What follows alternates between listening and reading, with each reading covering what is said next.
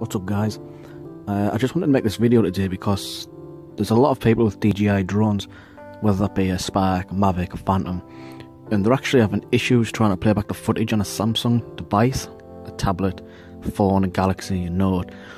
And I just wanted to make this video as a, as a fix for that walk around because for a long time I couldn't find a fix for this and I was quite disappointed that I could never watch my footage back.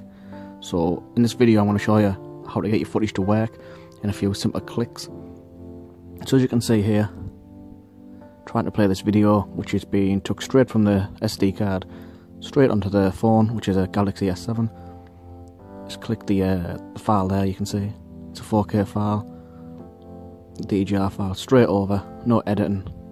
And as you can see, it doesn't work. Failed to play video, which I'm sure many of you have had this issue. And this is how we're going to fix it. So we're going to head over to the Play Store I'm not too sure if this is available on Apple, but you can see it's definitely available on Android.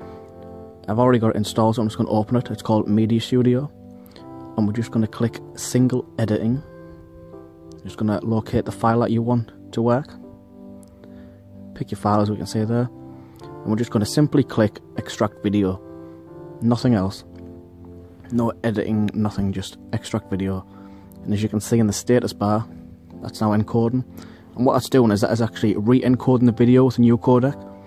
That's going to allow it to play on the device, as you will see here in a second. So we come out of that. Go back to the gallery. That is the old video there. We're just going to back out. We're going to go find the new gallery, which is video.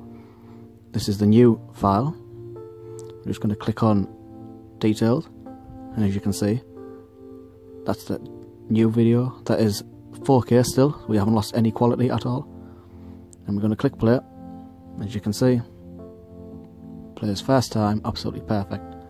No quality loss, smooth video, no playback issues.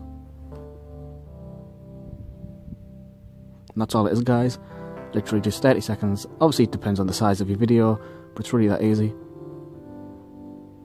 So I hope you've enjoyed the video, I hope it's helped you out in some way, and please like, uh, leave a like, a subscribe, and Please share this video if you found it helpful.